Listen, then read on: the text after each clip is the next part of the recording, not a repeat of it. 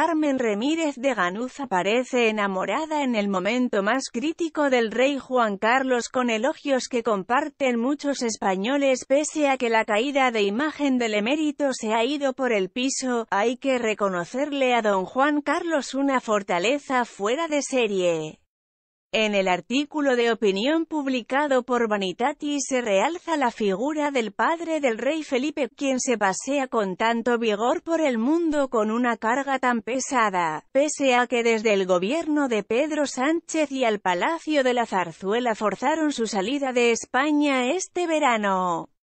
La especialista en realeza sostiene que el rey Juan Carlos ha aguantado una luz de indignación popular y de críticas la mayoría, fundadas por sus errores como mínimo y por el injustificado tren de vida de sus largos últimos años.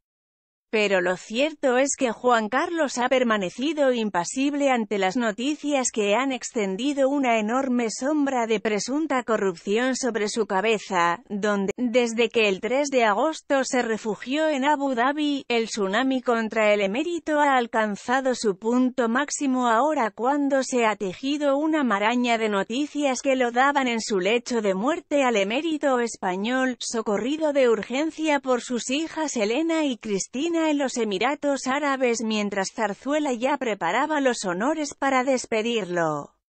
Nada más alejado de la realidad ha sucedido y el propio emérito español juzgó conveniente desmentir a través de sus amigos al periódico catalanista Ara y lanzar un comunicado oficial de Zarzuela. Se trataba de otro recurrente e infundado rumor sobre la mala salud del padre de Felipe.